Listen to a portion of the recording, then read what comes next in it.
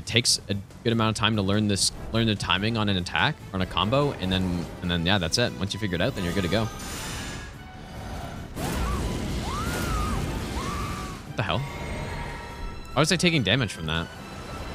I wasn't actually taking damage, but I was getting stunned by it. Is that because I have Golden Epitaph going? How much damage do we deal? Oh. That's what I'm talking about, dude.